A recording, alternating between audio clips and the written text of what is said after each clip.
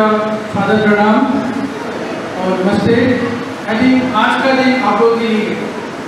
और जब देखते इतने सारे दादा दादी नाना नानी यहाँ पर हैं तो एक अच्छी फीलिंग आती है कि हमारे बच्चे बहुत सेफ़ हैं।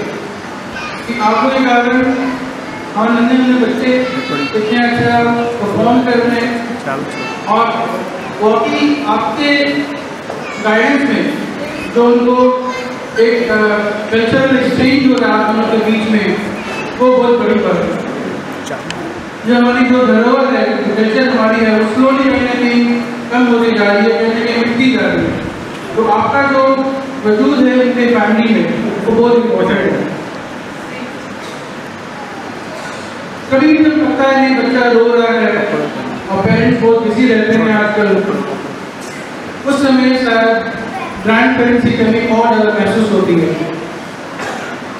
हम देखते हैं आजकल फैमिली छोटे होते जा रहे हैं और बिकॉज़ ऑफ़ वर्क पेरेंट्स का टाइम बहुत कम होता है। तो उस उस समय आप लोग ही हैं जो बच्चों को संभालते हैं, बच्चों को शिक्षा देते हैं, और शायद सबसे बड़ी बात, एक अच्छा इंसान बनाने में अपना योगदान देते हैं। और शायद हमें इन फ्यूचर भी ऐसे इंसान चाहिए, जो हमारे देश को आगे और अच्छे मार्ग पर ले जा सके। और वो शायद आप लोग ही कर सकते आपका जो ज्ञान है, आपके जो सही रास्ते जो मार्गदर्शक हैं, उससे मेरे ख्याल से हमारे छोटे नन्हे बच्चों को आगे दिक्कत नहीं आएगी। तो मैं आप सबसे गुजारिश करता हूँ कि अपने नन्हे मुन्नों को वैसे आशीर्वाद देते रहें। उनका इतना इंसान बनाने कि राह में अपना योगदान दें और दे भी रहे आपको। और मुझे इस बार खुशी भी है, आप लोग सब इतने आज अच्छे मन से और एक्साइटेड वे में यहाँ पर आए हैं। और हमें मौका दिया आप लोगों ने आप लोगों की थोड़ी सी सेवा करने का। हमें भी आशीर्वाद चाहिए आप लोगों से।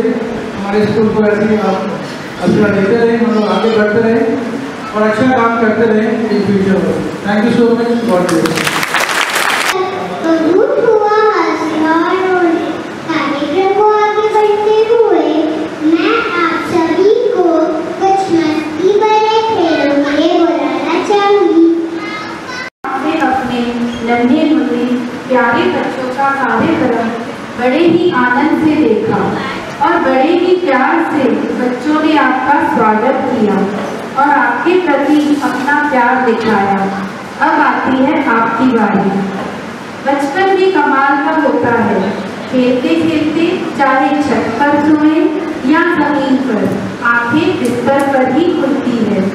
काश पलट के पहुँच जाए, फिर से बचपन की उन वादियों में, जहाँ न कोई ज़रूरत थी, न कोई ज़रूरी था।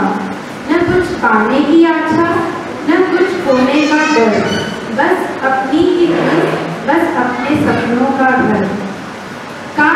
जाए फिर से हमें वो बचपन के दिन। तो चलिए हम आपको अलग अलग खेलों के द्वारा उन्हीं बचपन के प्यारे दिनों में लेकर चलते हैं। या घूमने गए हैं या मूवी गए हैं या फिर पिकनिक गए हैं और आप अगर शेयर करना चाहें जो यादगार है। में मेरी पोती है ट्विशा अतुल नंदनकर जो थर्ड स्टैंडर्ड ए में है और रियान है। मैं रियान की दादी हूँ रियान नंदनकर मैं उसके बारे में अभी का जस्ट बताना चाहती हूँ। हमारे घर में दस दिन के गणपति जी होते हैं। और आपको याद होगा कि बहुत बारिश आई हुई थी। और उस दिन हमारे वहाँ एक गणपति दादा के बहुत ही भजन रखे हुए थे, बहुत अच्छी तैयारी की थी।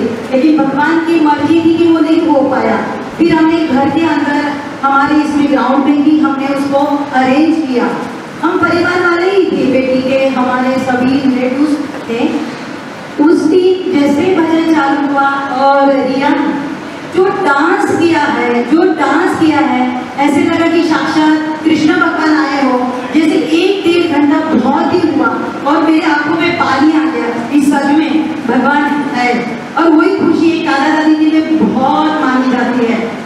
हम जो खुशी हमारे बच्चों में देखते हैं, वही खुशी हम हमारे पुराती पोते में देखते हैं। और सच में, मैं भगवान का और सबका बहुत ही शुक्र गुजार हूँ कि मैं विशा और रिया की तारीफ़ और मेरे हस्बैंड दादा है और इतना अच्छा कि शायद मेरे लिए शौक नहीं है। और मैं सभी टीपीएस स्कूल के टीचर्स प्रिंसिपल का मैं थैंक्स बोलती हूँ कि वो इतना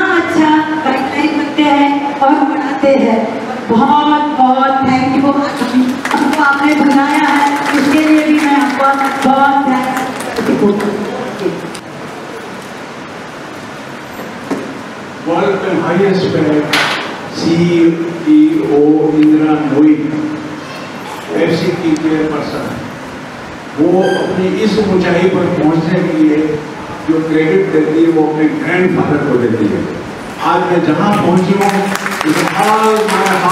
माय ग्रैंडफादर मेरी केयर मेरी प्रोटेक्शन मेरा प्यार मुझे जो दिया उससे मैं पहुँची हूँ तो is a model for grandfather Now let's speak about Ratan Tata.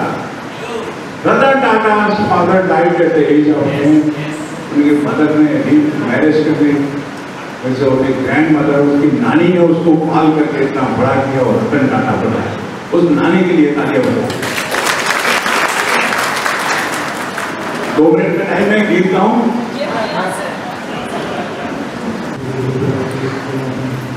या चंद्रमा